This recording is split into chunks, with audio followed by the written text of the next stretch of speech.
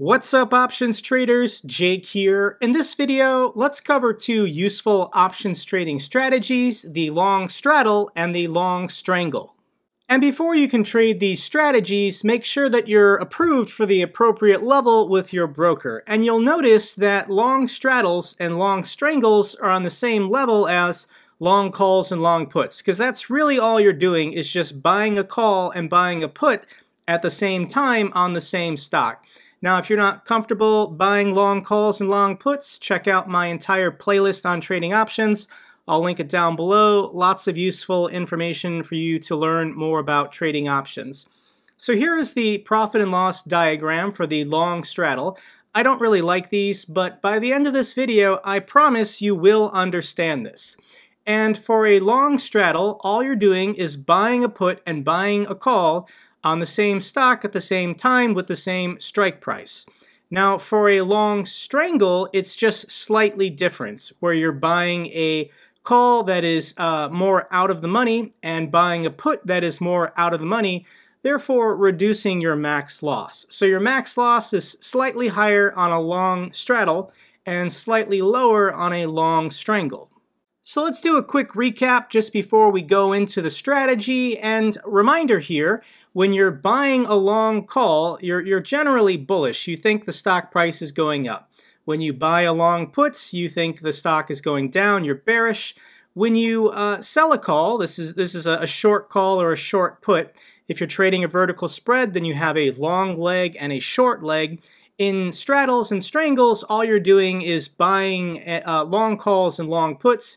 There is such a thing as a short straddle and a short strangle, but those are basically uncovered positions, very high risk. Your broker only allows that at the highest level.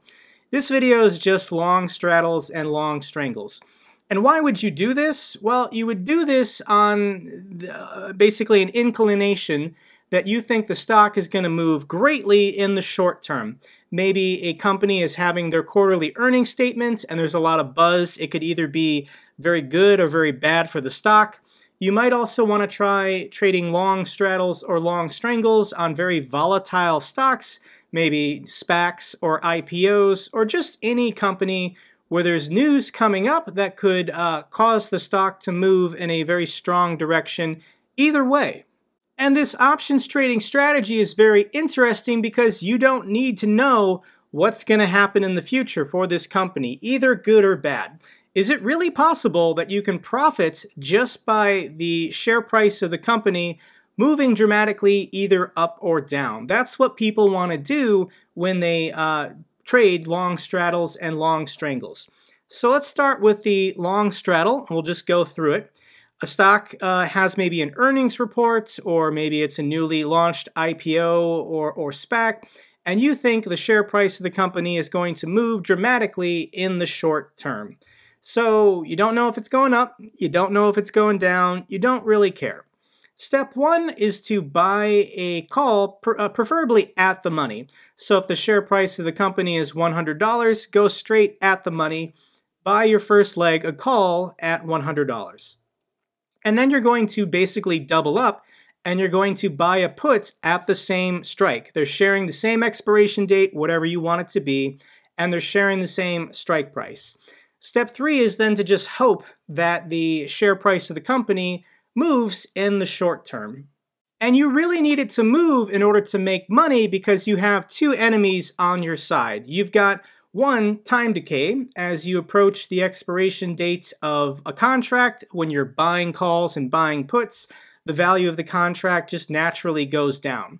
The other one is IV crush. Because people know about the long straddle and long strangle strategies, options prices tend to spike when there is earnings or potentially uh, a new volatile stock or some event is coming up. So the people on the other ends of these contracts selling at the money calls and selling at the money puts, they're demanding more premium to be paid by the buyers. So after the event happens and everybody knows what the results are, then implied volatility tends to collapse and this causes the value of the, the call and the put that you bought to greatly decline. So if the stock price, you know, a day later doesn't move at all, the, the value of these two contracts is probably going to fall a ton. Hmm. But let's say that you were right that the stock was going to move greatly and it shoots up dramatically. Great. What exactly is happening here with your two contracts? So the long call that you bought went up huge. Let's say that it gained 100% in value. Now, because you're buying calls and buying puts, your upside potential is unlimited. If the stock price went up to infinity, so would the value of the contract. Obviously, it's not unlimited, it's just very high. So what you need to happen in this scenario is for the, uh, the call that you bought to gain more than the puts that you also bought, because your put's going to go down in value. However, because you're the buyer of the puts, the most you can lose is the premium you paid for the contract. So how much you can lose is, is limited. It's just the value of the contract. Whereas how much you can gain is actually unlimited. So you just need the long call that you bought to outpace the put that you uh, also bought. And, you know, a day later, if you're confident the stock is going to keep going up in the short term, you can just close this position, hold on to this one, and let it ride out. The same is true if the share price of the company moves in the opposite direction. Let's say quarterly earnings were bad, the share price of the company tanks. Well, in this scenario, the long put that you bought is gaining a lot of value, while the long call that you bought is losing all of its value. But the most you can make is technically not unlimited in this scenario because the share price of the company can't go to infinity in the down direction, it can only go to zero. But trust me, if, if it moves down enough, the amount you're making from your long puts will outpace your long call. But similar to the last scenario, as soon as you know which direction the share price of the company is moving, you can sell to close this and maybe just let the long put ride out over time. So on the surface, this seems like a great strategy for trading on earnings. You can make money if it goes in either direction. So what's the problem? Like we covered, implied volatility drops. This hurts the value of the contracts that you bought. Everybody knows about this strategy, so the days leading up to a newsworthy event, the option uh, prices tend to spike. Similarly, uh, time decay is not your friend, and in this scenario, you're holding two contracts that are wasting away over time, not just one. And then there's the very high break-even price.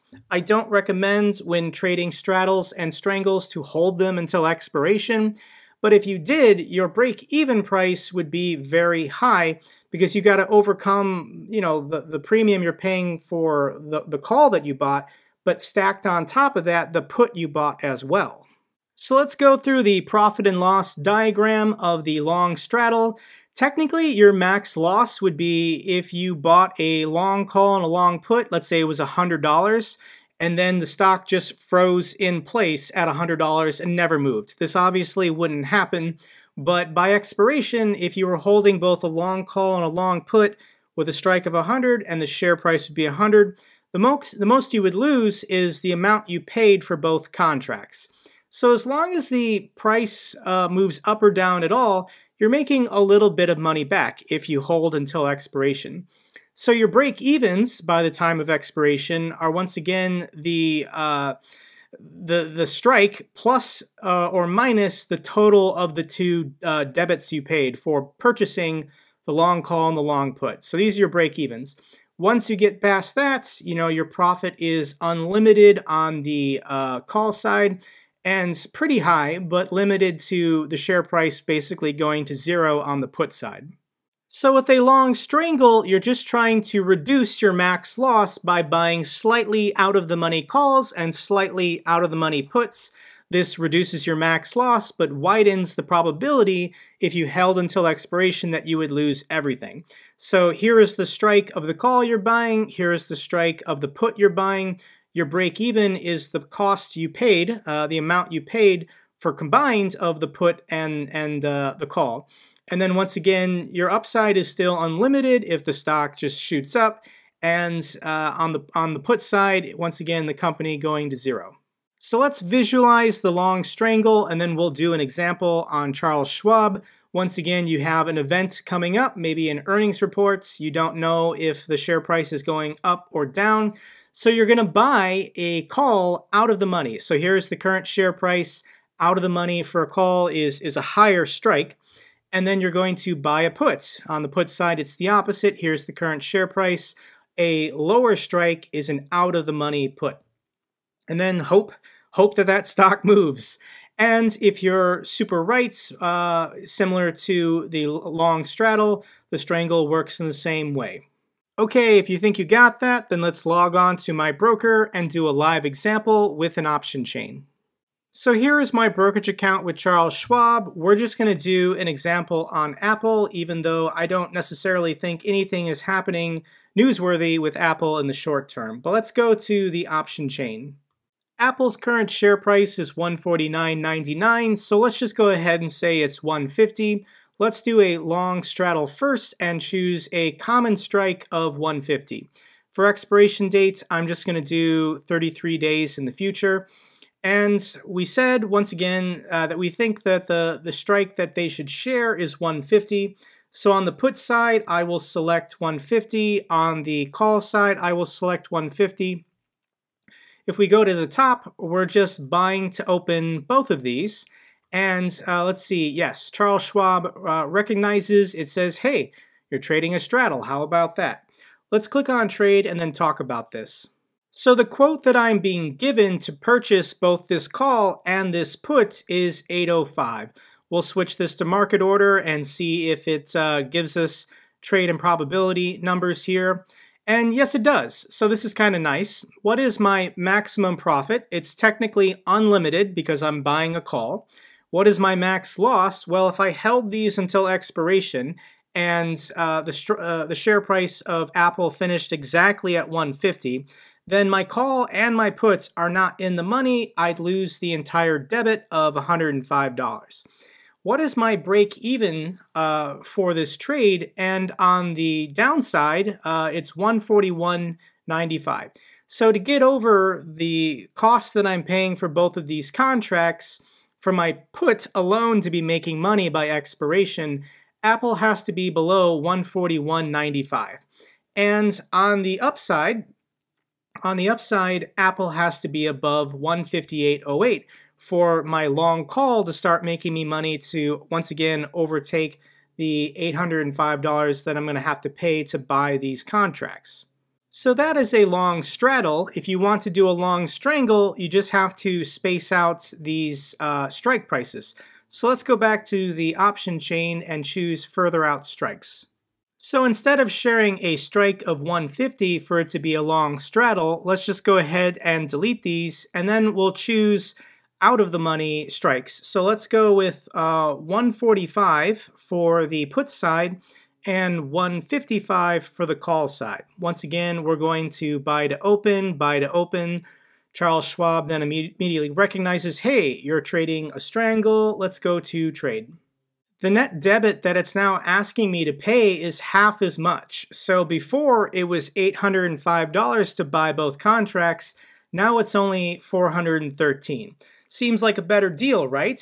Except my break evens have changed. So you have to do the strike on the put side, 145, uh, subtract 413. That is my break even on, on, on the put side.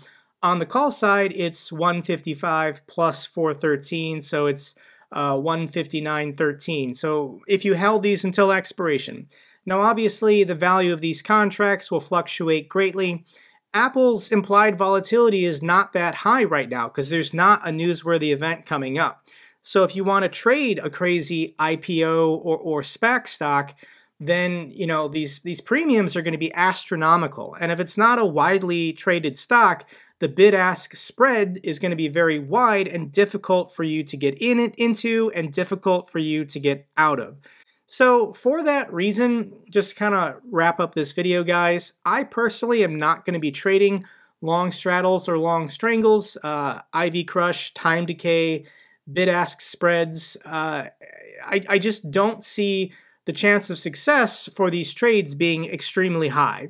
Uh, because if there's a newsworthy event happening, uh, sellers on the other end are going to demand higher and higher premiums, as soon as the newsworthy event occurs, uh, basically the, the premiums fall and you know the stock might not move. More than likely, gaps fill. So even if it does gap down and, and you hold it too long, you know, charts tend, that tends to happen.